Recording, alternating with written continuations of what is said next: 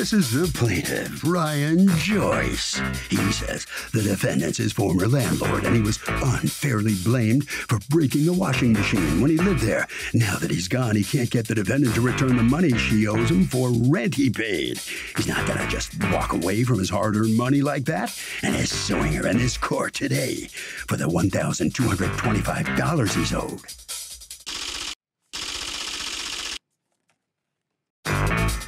This is the defendant, Trina. She says the plaintiff overloaded her washer, which caused a leak, and she had to have a repair guy come over, and she needed to buy a new machine. The plaintiff agreed to make payments on the new machine because he broke it, but the liar never did. This guy's just one of those disgruntled tenants looking for a payday, but the judge will see right through him like the cheesecloth he is, and he will leave a loser today. She's accused of being all washed up. The defendant has filed a countersuit for $2,021.37, the cost of a new washing machine and rent owed. All parties, please raise your right hands. Welcome back to the People's Court. Next case in the docket. The plaintiff says his former landlord blamed him unfairly for breaking the washing machine. But the defendant says the plaintiff overloaded the washer. It's the case of one vicious cycle. Thank you, Douglas. You're welcome, ma'am. Mr. Joyce, you Yes. were living in a house owned by Trina, and you have been living there for how long? Honestly, I was only there from July 6th, I believe, to uh-huh. November 26th. Okay. It was Black Friday or Saturday. I moved out. Okay. Black so, what caused you to move out? There was an argument about a, a washing machine. Right. Well, it started with that. I mean, honestly. And what was the, tell me about it. What yeah, happened? sure. Um, I don't feel like I broke it. I mean, it wasn't even my stuff that was. Okay, but there. what was it they said? Hey, you broke it because we feel you broke it because what? What was Because said? it was shaking violently originally. Um, While you were using it? While, while I was using it. What did you have in there? I had uh, a couple towels and uh, maybe two pairs of jeans. Did you have a comforter in there? No, I never did. Okay, so it, so you feel it just breaks down while you're using it, and you got right, and I was it. like maybe the second the last one to use it. I don't even think I was the last one to use it. All right, so did she confront you and say you broke the machine? yeah, she basically And just. what do you say? I said I I wasn't sure. I mean, I honestly just signed the agreement because Yeah, I was afraid I'm of being curious evicted. because you end up signing an agreement saying you broke the machine. Why'd you sign it? Because honestly, I was afraid of being evicted, and um, I mean, I, I know it wasn't explicitly stated that I was going to be evicted if I didn't sign it, but I mean that was pretty much implied. I mean, Well, you left anyway. I left anyway. I, So why why would I believe you had this great fear of being evicted when you made the decision to leave just a few days later anyhow? Well, what it was, what, what it came down to was um, she, I think she was gone for like a week, and uh, I had an altercation with uh, Aisha's son. So Trina's girlfriend lives there too? Yes. Okay, is that you? Yes, ma'am. Okay, come on up. So you end up having an altercation with her son. Was her son living there? Yes, he moved from Sacramento. Okay, mm. and so he was living there, and what was the altercation about? He, it was very late at night, and I had to work in the morning, so I ended What up time is very late at night? uh, like twelve thirty. Okay, that's late at night. Go So ahead. I mean, um, you know, it started around ten. I, I finished watching a show that I like, and I heard him talking on the phone like really loud. But I was like, oh, it's no big deal. It's only ten o'clock. Well, two and two two and a half hours went by of that, and I just kind of lost my cool. And honestly, okay, came because out. he was speaking loudly on the He was phone. speaking loudly on the phone. Where uh, was he physically? He was in the kitchen. And- uh, basically, what what was going on was he was swearing, um, just profanities, yelling profanities, talking about, you know, people who jump people are clowns. I mean, he kept going back People to who that. what? Jump people are clowns. So it's literally Okay. what he said over and over again. You know, I, I just felt like I was like losing brain cells by listening. All right, so when you walk out, what do you tell him? hey man, come on, like you know, shut. I did swear at him. I don't Okay. care about that. And then what did he say to you? Um, he said, "Okay, all right, I'm sorry." Okay. So then what happens? She comes back into town and she sends you a text that says, listen, we should talk about what happened. And what do you do? All right. Well, she sent me a text saying, "Hey, we have to have a discussion." Um, but I guess it, it was more along the lines of I already felt like I was being set up for the washing machine, so I figured out she was setting me up again to kick me out. Well, that's not a setup. She you're on a month to month tenancy, right? Right. So all anybody has to do if they want you out is say you have 30. I'm giving you notice. 30 days from now you have to go. There's no setup. You don't have a right to live there No, that's for true. right. That's right. So uh, her text specifically said we should talk about what happened. It didn't say anything more, right? No, maybe I jumped. I All right. So jumped to then, then what happens? You tell her what? I tell her that I'm. Um, I just feel like it's best if I leave. Okay, in, in, but like, how much weeks. notice did you give her? Gave her like. Uh, I think I gave her about oh, two weeks. And then you do leave, Mm-hmm. right? You're suing today because you gave her $100 after agreeing you'd pay for the washing machine. You went out and bought a washing machine that cost how much? I believe it was six hundred and forty-eight dollars, Your Honor. Plus your uh, three-year warranty, plus, you know, some I other some- stuff. So I, I have a, a question for you. How old was that washing machine? The machine was eight years old. If, if I break an eight-year-old washing machine, why would I buy you a brand new three-year warranted new washing machine? Your your measure of damages is what the person broke. The person broke something that if you tried to sell it at a flea market, you'd get how much? That's what the amount is. So I'm kind of curious. Why were you making him pay eight hundred dollars? Understandable. What proof did you have that he broke it anyway?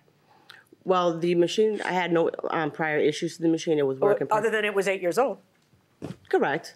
Um, but I had no physical issues where it wasn't making any sounds um, used for. Yes, like- I know. And then what? My partner here, uh, Miss Robinson. you ca- tell me if it was you who saw something. Go ahead. I did. Um, I was in the room, um, our bedroom, and I hear this loud doom doom doom doom, like a really thumping sound. And I opened the door, and it was the washer. And I knocked on the door and asked Ryan, was he doing laundry? And he said yes. Okay. So I hurried up and tried to figure out how to shut the washer off. Right. What did he do to break it? he had a comforter his like all his laundry was in the washer Right, but what did he do to break it? he overloaded it yeah, but it sounds like the noises that you're talking about sound like, you know, there's some like a belt broke or something that's making the. yeah it was Yeah. it, it so have you had the? smell. Let me ask you a question. Did you Mm-hmm. have somebody come out and diagnose how it broke? I spoke to my repairman that, um, you know, he's a, a plumber. Did he see it? He did not see it, Your Honor. Oh, so he doesn't know what was wrong with it. All right, so let's talk about what you're suing for. You're suing for the hundred that you gave her. You want that back. When you say in your lawsuit seven hundred and fifty dollars for last month's rent, what month are you talking about? Talking about the first and last, I paid. Well, the first Uh, last when you moved when I in, you moved paid last, last month's month, rent. so I paid fifteen hundred dollars when I moved. Now on the November rent, you had paid half of it, I paid yes, I paid on November but first. you stayed until the end of November. So I- how do you figure that if you stayed there all of November, you should get the half rent you paid back? Well, it's it's a little strange because uh, on November first, uh, under the impression that I was still living there and everything was was okay, I gave her three hundred dollars cash. She said she would uh, put the rental re- the receipt under my door that I asked for. She never did. I don't think you deny that he paid you 375 in rent November, do you? He never paid me anything, Your Honor. Oh, you do deny. He it. actually, in fact, owes me October rent as well as toiletries. Okay. So, do you have a receipt? See, cash doesn't leave this hand until a receipt goes into this hand. If someone tells me they don't have a receipt, just take a piece of paper and a pen and have them write a receipt. There's no magic to a receipt. know. Did you normally get receipts? Uh, it only honestly only in the beginning when I first moved. Okay, in. well, this is the cost of not getting receipts. She's denying that you paid her rent in November at all. All right, you don't have a receipt. Do you have like a withdrawal from the bank from that day? Anything? anything? Uh, Um, witnesses? not with me, just them. Honestly, I, I gave Yeah, her they're the not going to testify I know, for you. I know Um, exactly. You know, if you don't feel like dealing with receipts, nowadays there's Venmo. That's an automatic receipt. You know, Zelle, whatever Cash App. You know, then there's always a receipt of everything you do. You don't even have to bother yourself with a crayon and a roll of Towards toilet the end, I, I honestly was asking for receipts very frequently when I paid. Either rent. that or towards the end you weren't paying rent, one or the other. So in October, according to you, he still hadn't paid, finished paying rent. That's correct, Your According Honor. to you, he owed how much in October? Um, in October, he owed me 150, 135 for past rent and $15 for toiletries that he never paid. What's your response to that you still owed $135 in October? I, I have the I have the text showing telling her that I was on my way to give her the money. Okay, let she me never see that. denied it. Yeah, absolutely. And what happened with the texts that say? He never came and showed up. No, that's not true. Okay. All right, so while he's looking for the receipts to prove up his case, let's talk about your case. You have a counterclaim against him for 2021-37.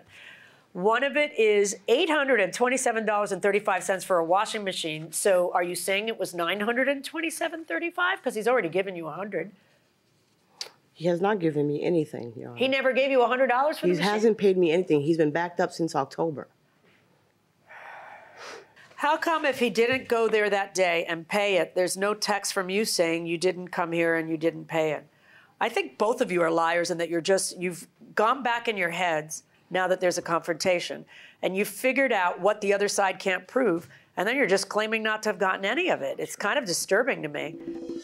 So, what is an eight year old washing machine worth? What do you say? Um, Eight year old. And it's a good washer. probably like 200. $200. Does that sound right? Does that sound high? What does it sound? A hundred. A hundred.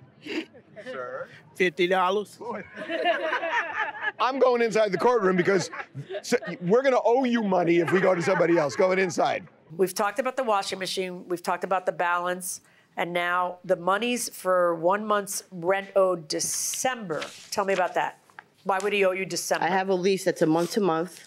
And he didn't give you any notice? He did not give me a 30 Well, he 30-day gave you notice. notice, he didn't give you a 30-day notice. He did not give me a 30-day notice. And a notice, 30-day Your notice is required, so why do you get to just leave in a couple of days? Honestly, I thought I was doing her a favor by leaving early because Okay. she didn't want to, you know, she didn't like me. And Okay, you didn't get did along. collect, when he first came in, did you collect last month's rent in the initial lease? Yes, Okay, so there is 750 on your side. that's correct. And you had him write something down that said he broke the machine, didn't you? Yes, he offered on via text message. He said if I broke it, then I'll pay for it. Let me see it. Yes. Thank you. Okay, so what evidence do you have that you actually paid the $100? Uh, as part of the the payment on 1025, I, I did. I think it was uh, an extra. Do you have any proof of that?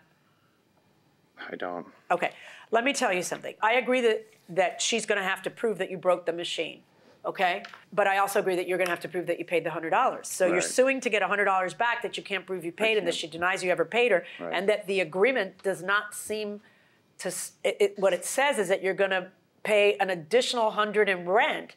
And then we know that in November, you hadn't paid all the rent yet. So you're not entitled to that. Okay, the 375 monies for half of November rent, which according to you, you paid 300 and you paid 75. She denies that you ever paid her that. And the minute you said it in the text, she immediately denied it and said, You are delusional. Take your meds. You never paid anything. You have no proof that you paid that either, right? There's nothing. There's no receipt. There's nothing for you to prove you paid it. I guess not. Okay. Now you have a counterclaim against him. You want him to pay $827.35 for a washing machine. We've already been over that. I don't think you have proof that he broke it. Just because he's washing a comforter in there, I wash comforters in there. The thing broke when the thing broke. The timing is what the timing is. Yes, he agreed to pay for it, but then he changed his mind, and he can do that because there's no consideration for that promise. So I don't believe he owes you for the washing machine. I think he's right about that. You say he owes you a balance for October of $135. How are you going to prove that? I mean, you know, if you decide that it's not worth it to you to put things in writing, then you, you know, you guys end up with a pickle. And now the money's owed for one month's rent being December. That's interesting. Because he gives you no notice, which he admits. Money for lost wages, you're not entitled to that. So that's easy. You're not entitled to get last month's rent plus any rent you paid for a month you were actually there, which makes no sense. I don't know why you're suing for that. That you can't prove you paid. I believe that the 750 that you paid at the original part of the lease is what's going to cover November hmm. because you can't prove you paid November. And then the question becomes is she entitled to another 750 because you didn't give notice and I find that she is. So as for your lawsuit against her, you're unable to prove it. And as for her lawsuit against you, I'm not ruling in her favor on the washing machine or the balance in October or the lost wages, but I am ruling in her favor on the rent for December because we all have to abide by the rules, and the rules are 30 days notice. Net judgment then in favor of the defendant in the amount of $750. Thank you, Your Honor. So in this case where neither party had any really hard evidence to prove their case, the defendant does get the rent for November. Just mean, for 750. December, I- For December, yeah, you're going to have to pay that. Gosh, I don't know. I, I don't feel like I owe her anything. All right, It sorry is what it that. is. Okay. All right. Have a good one. Hope you learned something. You need receipts, man. You need receipts. Get them next time. Get them. Get them. All right, Trina, you're lucky too. You know, you didn't have. You got to force people to take receipts. You've That's learned correct. something, right? Yes, I have. I mean, really. Um, you're lucky to get the rent, so you get I, I, I'm very not lucky. I deserve it because the way he left was very unfair. You know, that's just not how you do things. I treated him very well as a tenant there, Okay. and I'm just grateful that I was able to get that. Good enough. All right. Thank you very much. Thank you. You must sign some documents on your way out of the courtroom. Harvey. So uh, here's the deal that you have to give 30 days notice in most states in order to get your security back. Um, even if the lease doesn't specify the amount of notice, in most states the law says tenants have to give 30 days.